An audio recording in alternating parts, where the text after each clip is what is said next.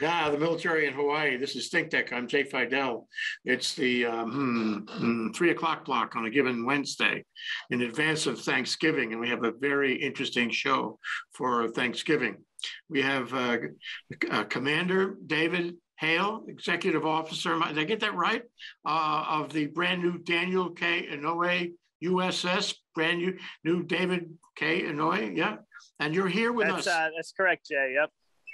That's fabulous. And uh, Jack Shriver of the Navy League to talk about the commissioning of the ship, which is going to be on December 8th.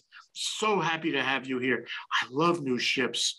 I love the Navy. I love the United States. It's all part of the same bailiwick, and we're at the front end of that. Wow. So the first thing we do is we talk about the ship.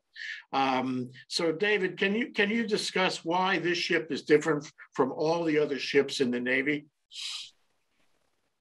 Yeah, Jay, that's a, a great question. I apologize if you hear a beeping in the background. It's because a, a, truck is backing up on the uh, on the pier uh, near me here. So what makes uh, this ship unique is we are the newest guided missile destroyer uh, in the U.S. Navy today. Uh, there are quite a number, over uh, over 60 other guided missile destroyers. Um, but part of what makes us unique is that our um, most of our systems that we have on board are the newest that the Navy has in its ships, uh, which is which is a very cool thing. Honestly, what makes us most unique is our namesake, uh, Senator Daniel Inouye. Uh, and it is an honor uh, to be part of the very first crew. We call them plank owners in the Navy. If you're part of the very first crew, you are a plank owner. It is an honor to be a plank owner of a ship named after uh, such an amazing American hero. When you think of everything that uh, Senator Inouye did from uh, growing up in Hawaii to enlisting in the Army and getting a battlefield commission to earning the Medal of Honor to representing the state of Hawaii, the brand new state of Hawaii, for over 60 years.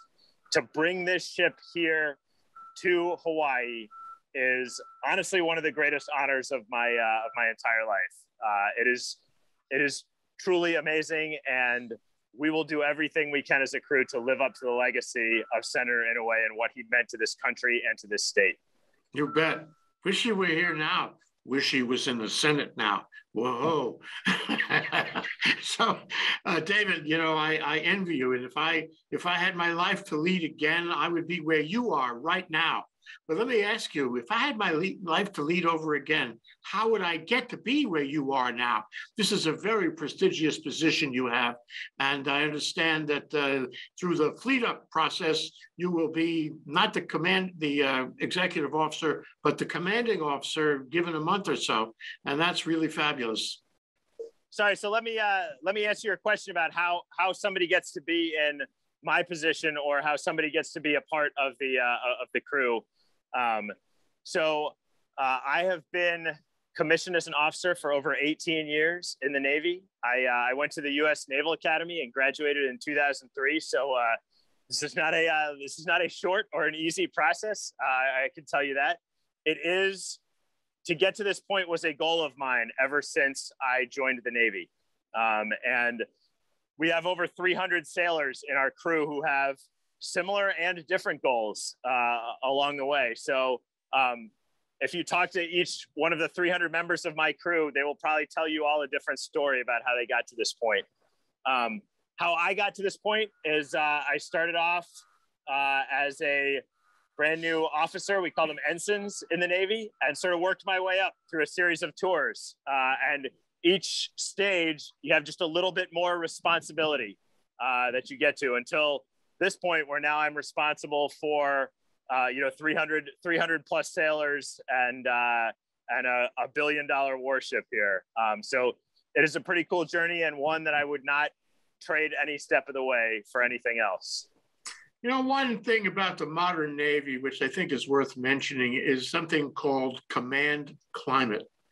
And you're at the top of the command I wonder if you could discuss what that means in the context of the way you run a warship like this.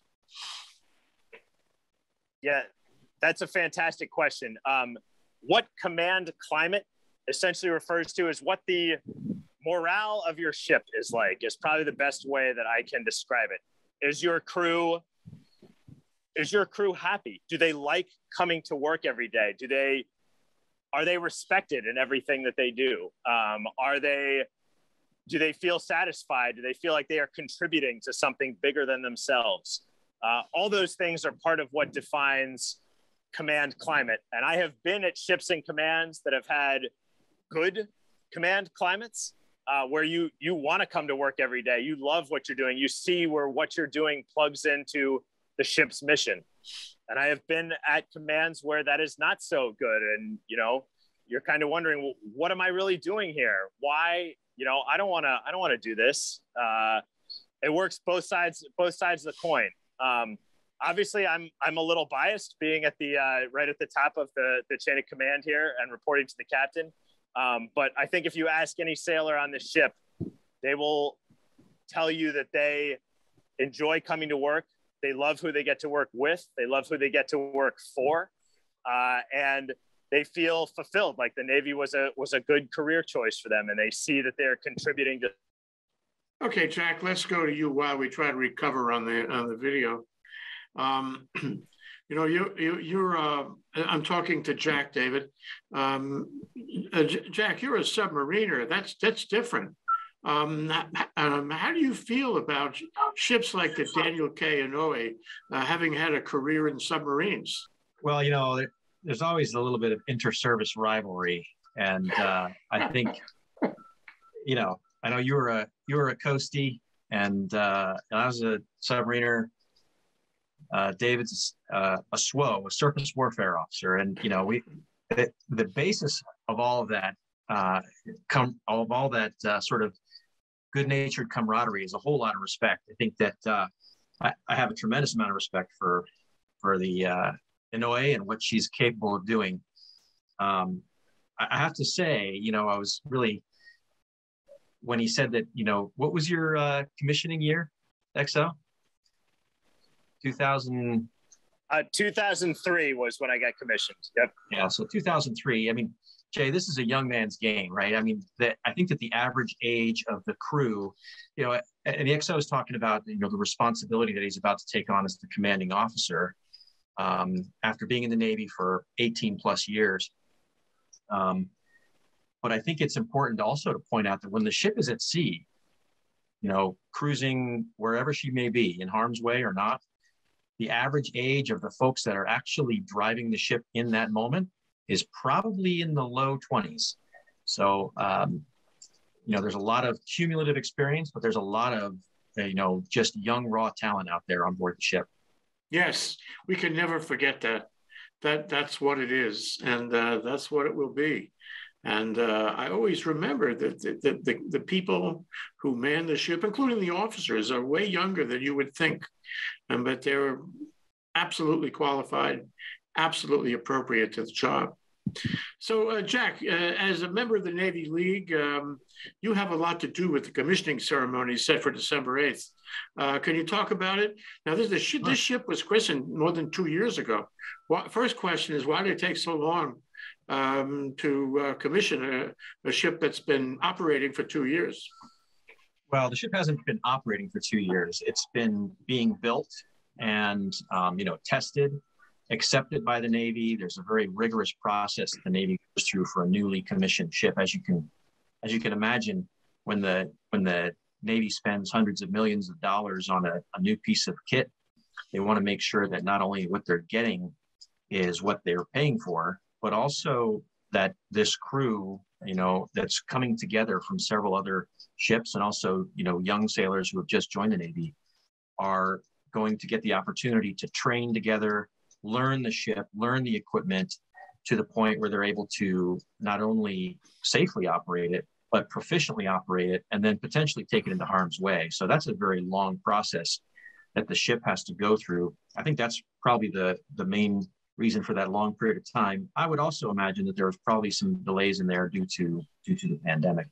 Ah, oh, sure. So, XO, uh, you're on the you're on the, the bridge now, and you're overlooking uh, like was that Ford Island or some other part of uh, Pearl Harbor. Uh, can you swing the camera around so we can get a view of what you got behind you and on the side of you? I'm uh, I'm doing a little little pan here. I'll show you the the forecastle of the ship here in a second.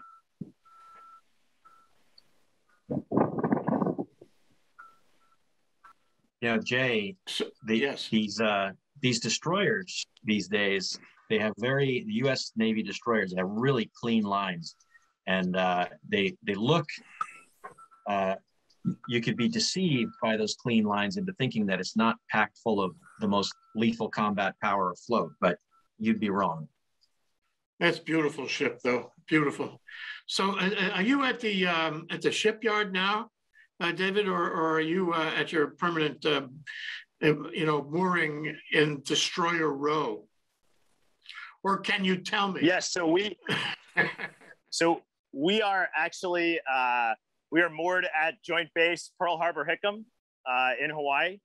Uh, this is where our permanent home will be, not necessarily this pier, but uh, um, here at this base. This is where our permanent home will be when we're not out to sea during during doing operations uh, for the foreseeable future. Mm-hmm. So happy to be here in our new operating home. your operating area will be anywhere and everywhere, not only across the Pacific but across the world. Am I right to say that?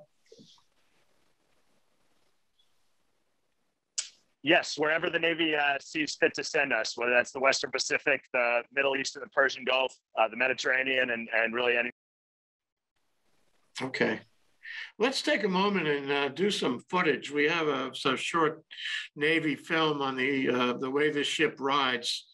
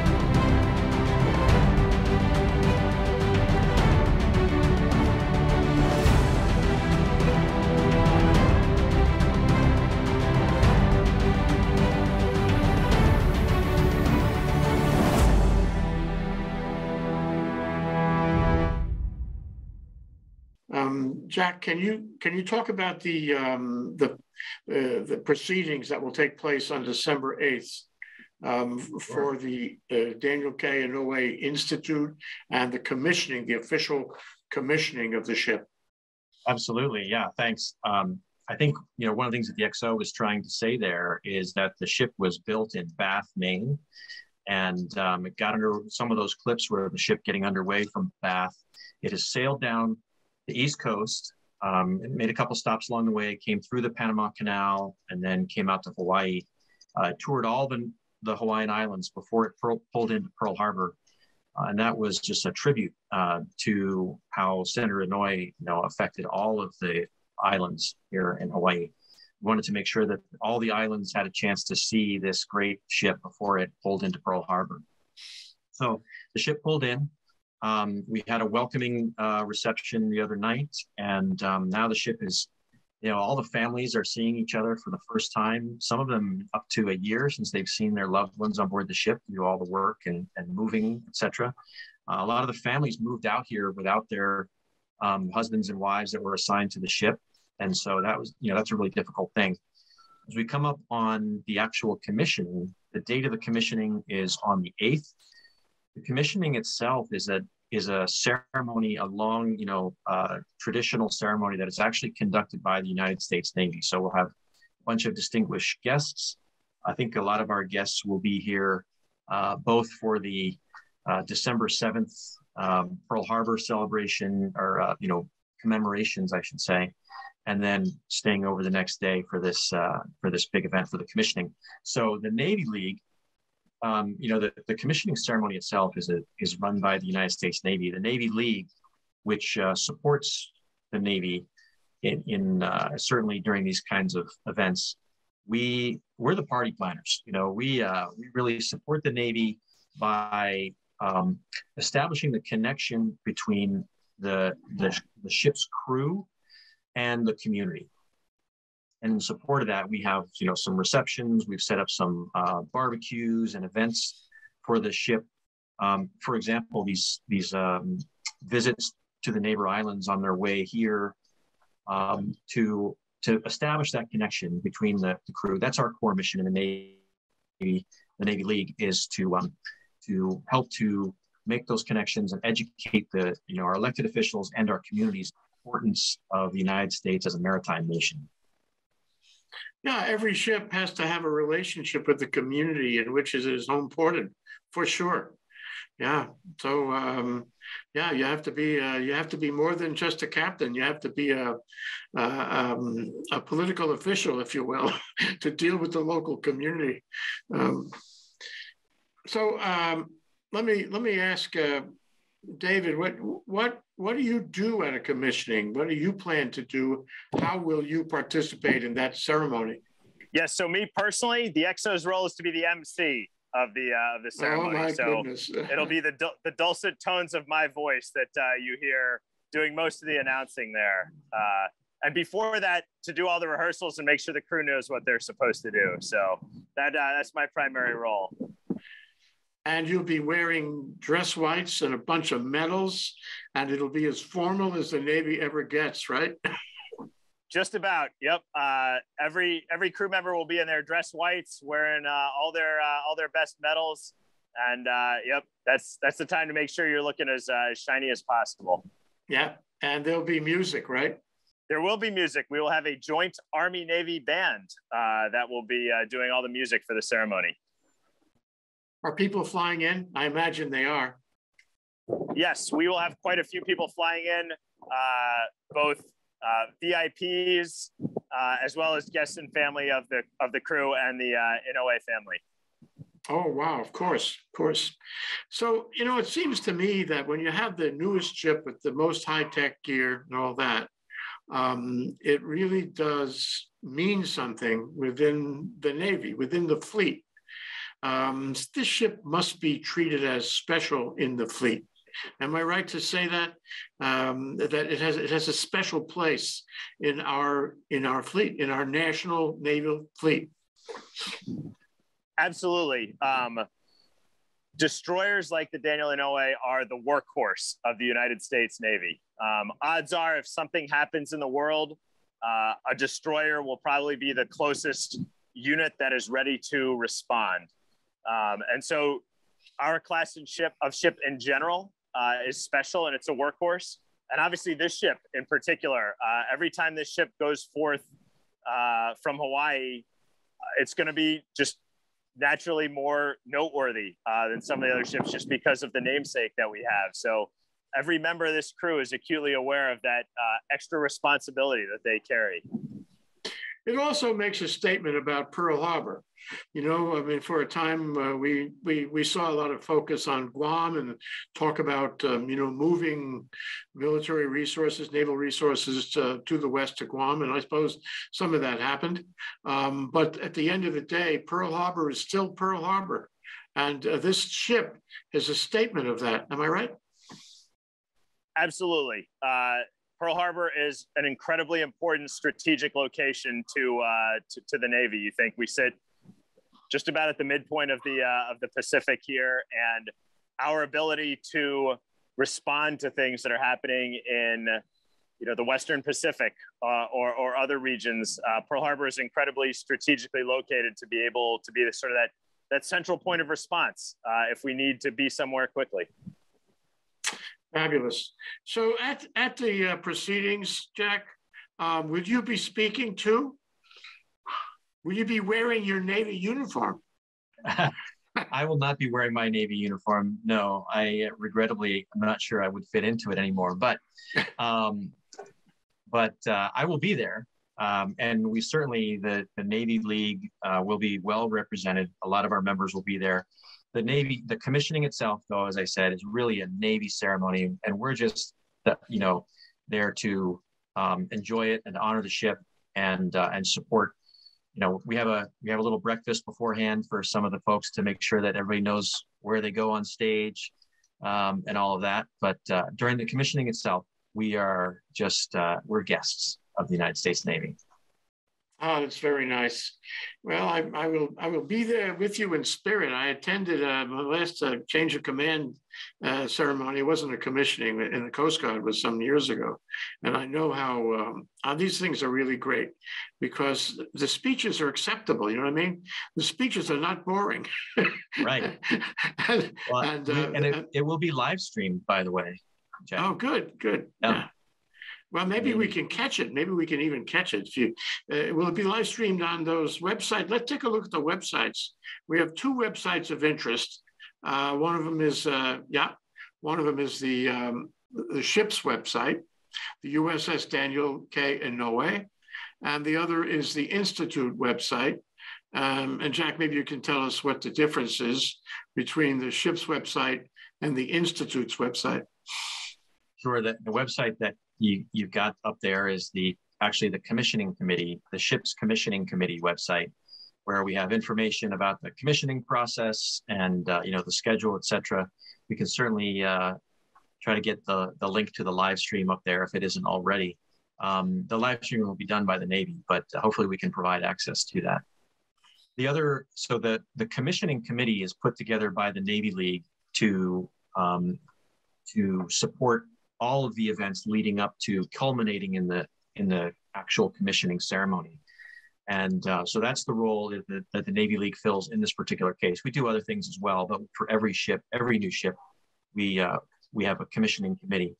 And as part of that committee, given the special namesake and history and you know and all the background associated with Senator Inouye, or uh, as I like to call him sometimes, Captain Inouye, United States Army. Um, because the ship is really named after him as a warrior, uh, as well as as a as a statesman, and um, so the Daniel K. Inouye Institute, uh, which is you know set up to honor the legacy of Senator Daniel Inouye, is a big part of our commissioning committee for this ship, and and an absolutely vital core player in in making this all come together. So, David, um, what happens after the, the commissioning uh, ceremony is done? I mean, aside from the fact that you you might just sit down and rest for a little bit, and uh, maybe maybe have at least a little bit of a beer. Uh, what happens after that? Uh, you come back. Now you're on the ship again because you live on the ship. Um, what happens? Yes. Yeah, so uh, once we are done with the commissioning committee, we actually are affording the crew the opportunity to take uh, take some leave, uh, some well earned leave over the uh, over the holidays here. Uh, once we get everybody back on board, though, um, we head into a period where we're going to do a lot of testing for a lot of the ship's uh, weapons and combat systems. As a new ship, we have not really had the full opportunity to test a lot of these systems in a in as close to a combat like environment as we can. So we are going to shoot lots of rounds out of our guns. We're going to shoot missiles out of our launchers. We're going to make sure that uh, if the ship has to sail off to fight, things are going to work the way that we expect them to work. Um, and uh, so that that's immediately sort of what the next few months after uh, after the commissioning holds for us. Well, that's pretty exciting. So testing is a very creative process. You have to figure out how to test it so you can be confident of the, you know, that it will work uh, and that uh, you know the test shows you something, teaches you something. Is, this, is there a philosophy on that? Uh, it sounds like, you know what it sounds like? It sounds like computer programming because you're never finished with the program. Jack is laughing. You're never finished with the program until you test it and make sure that it works even after you, you know, really kick the tires. Yeah, We are, every time we are out at sea and sometimes even when we're in port, we are testing, we are training. Uh, you know, you never went, you never know when that moment will come when you need that system to work and you need that sailor to respond exactly like they're trained. And so that is really at the core of what we do is that testing, training, and making sure we are ready when that moment comes. And it's not over even then because you have to keep on testing, training um, after after whatever at every iteration, every evolution, as they like to say. Uh, so, you know, one of the issues about um, about the U.S. military and, for that matter, the U.S. government is everybody is in, in kind of a term limits sort of position. It's where you never stay there that long. And arguments have been made on both sides that maybe it should be longer so that you get really get, uh, you know, comfortable with and competent, super competent uh, with what you have, and you don't leave taking all that knowledge with you um, and leaving it to somebody fresh. So the question I put to you is, what about the 300? Uh, what about you as commander? Um, how long are you going to spend on this ship before you move off to your next evolution? Yeah, that's a, that's an excellent question. And I apologize as the ship is making an announcement behind me, but uh, yeah, um, most of the sailors for our commissioning crew here, so 300 uh, plus sailors, will be together for about the next three to four years. Uh, and we are a little unique uh, in that regard, in that most ships you have will turn over, meaning, you know, the old sailors will leave and new sailors will come to replace them about a third of their crew every single year. Uh, we are unique in that the crew right now that is the plank owner crew will stay together for about the next three to four years. Um, that does not hold true for everybody. So, especially the officers on board. So, I have been the executive officer for about almost two and a half years. And uh, immediately following commissioning, I will turn over my responsibilities as executive officer to uh, to my relief. I, there's a, Commander Kevin Dorr is coming in to replace me. And uh, I go away for a few weeks and I come back in January and take over as the commanding officer uh, of the ship. Um, and, and so when I'm, my time together as commander, as, uh, excuse me, as executive officer and commanding officer is done, I will have spent more than four years probably with this ship, which is longer than I will spend with just about any command in my career. Uh, so pre-commissioning ships and uh, new, new ships like the Daniel Inouye are unique in that regard. Well, you know, they say in the Navy, there's nothing finer than command at sea. Uh, nothing better for you, better for the Navy, um, better for your career and possibilities of promotion. So this is a real winning situation. And uh, I, I want to say, I'm sure that uh, Jack joins me in wishing you good luck on the commissioning, wishing you a, a great time on the ship as, as commander um, and a great career to follow. This is pretty exciting. And we get to talk to you. We get to say hi. that's that's that's very prestigious for us, you know. well, thank you. I'll, I'll uh, take every uh, every wish of luck that uh, that I can get. Uh, and in the meantime, we'll we'll train to the deficit there. So thanks. So, David, what is your what is your message that you would leave um, to the people of Hawaii about this ship, about uh, you know the commissioning of the ship, the operation of the ship going forward, the importance of the ship to the fleet here and and and globally? Yeah, my my message to the people of Hawaii would be this: uh, this is a ship that you can be proud of. Uh, this is a ship that will represent the legacy of Senator Daniel Inouye proudly. Uh, this is a ship that um, no matter who serves on it now and no matter who serves on it through the years will feel the weight and the impact of just what it means to serve under the name USS Daniel Inouye. Um, and wherever we go, whether that is here in Hawaii, whether that's across the horizon in the Persian Gulf or the South China Sea, or you can name it any number of hundreds of places in between, uh, we will carry that legacy proudly and we will represent this country and this state as best as we possibly can. Amen. Jack, um, what's your message to the, the people of Hawaii on behalf of the, the Navy League, on behalf of the Military Affairs Commission, you know, uh, Council of the uh, uh, Chamber of Commerce? Uh, what what would you like them to know? Yeah, Jay, I think it's important to recognize that our country is a maritime nation, and our state is a maritime state more than any other. And uh, you know, I think that having this ship arrive um, at this time and represent the son of Hawaii in Senator Daniel Inouye is is just an honor for the state. It's really thrilling, and I'm so proud to be a part of it. And I'm proud to talk to you guys. Thank you very much, David. David Haile, Jack Shriver, really appreciate this conversation. All the best to both of you, and especially at the commissioning. Thanks, Jay. Our, our, my pleasure. Aloha.